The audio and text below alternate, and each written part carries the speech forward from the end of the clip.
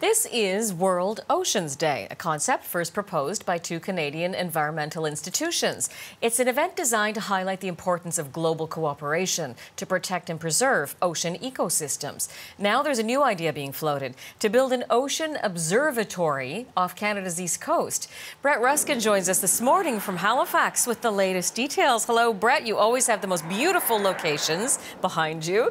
Uh, on this Oceans Day, who knew? What can you tell us about this idea to monitor the North Atlantic.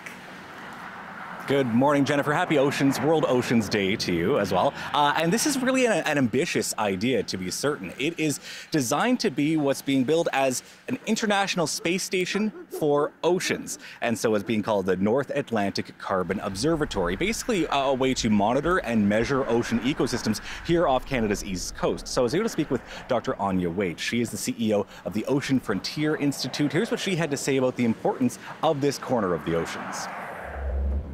So the North Atlantic absorbs about 30% of the carbon that the oceans absorb in total. And that's partly due to uh, an interesting system east and west of Greenland. There are things like chimneys where water cools and sinks down three kilometers to the seafloor.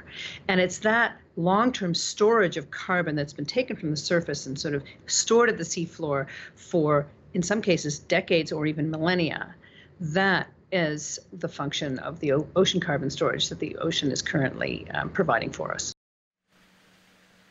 And so this plan would effectively pool government resources and expertise from uh, countries around the world, or at least along this coast of the ocean on both sides of the Atlantic, uh, to try to you know work together to gather data and deliver that data to government decision makers around the world. Jennifer.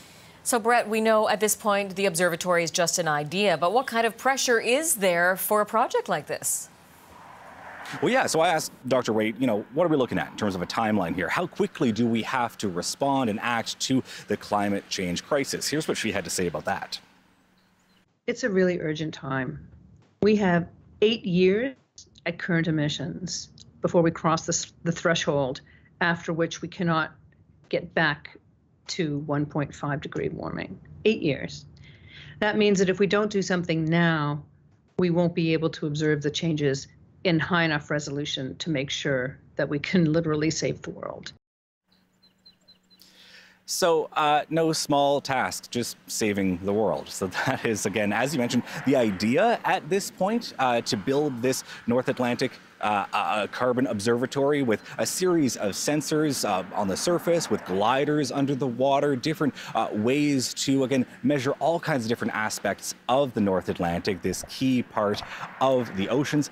Now, the Canadian government has yet to sign on, officially commit to supporting this project. However, Dr. Waite says that there is uh, growing support, that they are making good progress on getting more and more federal leaders on board. Fascinating. Brett Ruskin live in Halifax. Thank you.